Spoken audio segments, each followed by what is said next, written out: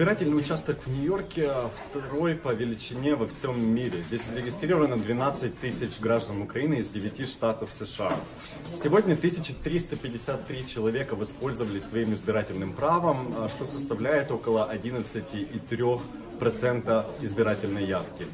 На протяжении дня мы видели иногда больше людей, иногда меньше. В целом атмосфера была дружелюбной и никаких особых нарушений на этом избирательном участке зарегистрировано не было. Сейчас за моей спиной вы видите, как до сих пор продолжается подсчет голосов.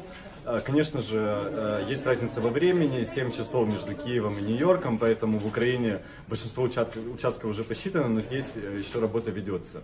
Мы также видели сегодня с другой стороны улицы от Генерального консульства, где происходит голосование, съемочную группу российского канала «Россия-1», которые так наблюдали за процессом.